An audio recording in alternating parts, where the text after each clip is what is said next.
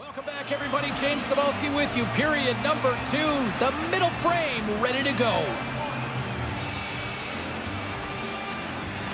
Here we go. Middle frame now underway as the puck drops. One period already in the books. Ray, how have you seen this thing? The Flyers have to rebound after that sluggish start, James. It's like they had the heavy boots early in that first period. They never had the puck, and as a result, they're chasing this game right now. Quick pass to Couturier.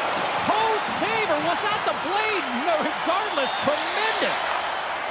Look at this. They've got some bodies here on the attack. And the puck stopper hangs on to get a breather here for the team.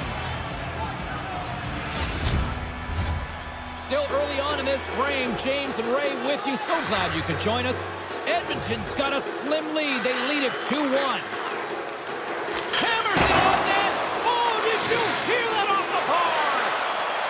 Got to be thinking, what do I have to do to get a break? He's created chances. He's been in the right spot, but all he can do is hit the post. McDavid's got it against the.